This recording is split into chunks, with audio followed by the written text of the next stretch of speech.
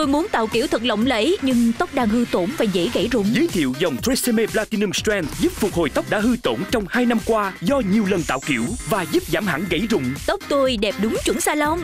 Tresemme tóc đẹp chuẩn salon mỗi ngày ngay tại nhà.